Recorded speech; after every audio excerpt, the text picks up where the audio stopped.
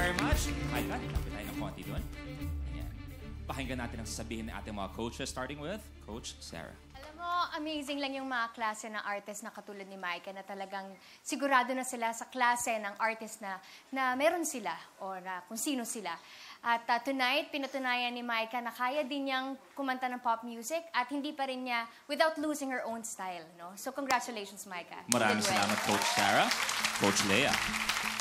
Were such a joy to work with. You were such a joy to coach. You were just so incredibly talented. And tonight, that was the best you've ever sung that song. I am so incredibly proud of you. Oh my God! I don't know what to say. That, deser- that deserves a standing ovation. That was so good.